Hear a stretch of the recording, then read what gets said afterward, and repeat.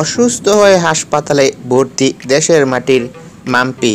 বিস্তারিত সব জানতে না টেনে আমাদের ভিডিওটি দেখুন আর আপনি যদি দেশের মাটি ধারাবাহিকের নায়িকা মাম্পি অর্থাৎ রুকমা রয়ের ফ্যান হয়ে থাকেন, তাহলে ভিডিওটিতে একটি লাইক দিন।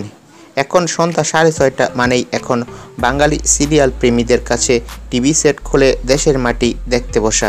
এই সিরিয়ালের তথাকথিত কেন্দ্রীয় চরিত্র না হলেও যে জুটি দর্শক মনে সাড়া ফেলেছে তা হলো রাজা মাম্পি।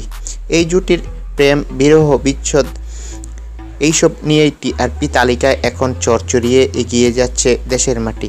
সোশ্যাল মিডিয়া তো এখনও হাওড় উঠছে। কিয়ার নোয়াকেও ছাড়িয়ে গিয়েছে রাজা মাম্পি।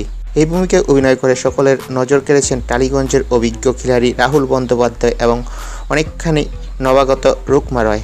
তবে বাস্তব জীবনে নাকি অসুস্থ হয়ে পড়েছেন অভিনেত্রী।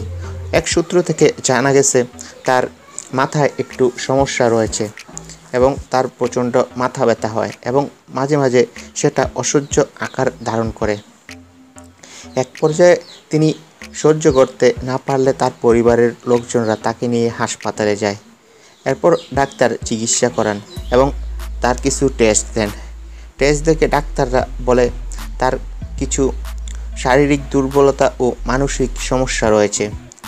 আশা করা যায় এক থেকে দেড় মাস প্রেসক্রিপশন অনুযায়ী ওষুধ খেলে সে দ্রুত সুস্থ হতে পারবে আর তাকে বেশি টেনশন করতে মানা করেছে।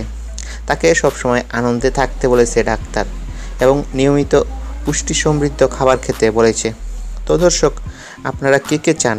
দেশের মাটি ধারাবাহিকের মাম্পি মানে রুকমারা যাতে দ্রুত সুস্থ হয়ে যায়, কমেন্ট বক্সে জানিয়ে দিন আপনাদের মতামতটি। আর এই ধরনেরই ইন্টারেস্টিং আপডেট পেতে আমাদের চ্যানেলটি সাবস্ক্রাইব করে রাখুন। ধন্যবাদ।